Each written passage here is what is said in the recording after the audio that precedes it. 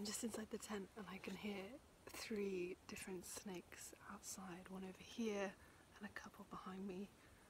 Um, one sounds really near the entrance, so I'm gonna enjoy my porridge and then maybe stomp around on the ground a bit before I get out and hope that that scares it away.